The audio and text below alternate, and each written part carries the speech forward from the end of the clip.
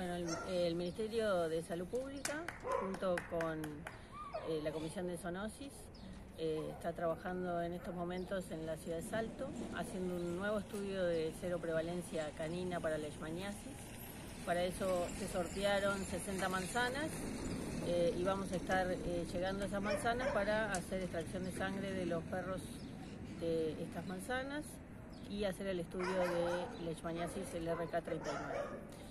Eh, solicitamos la colaboración de los vecinos y en cuanto tengamos los resultados los vamos a dar.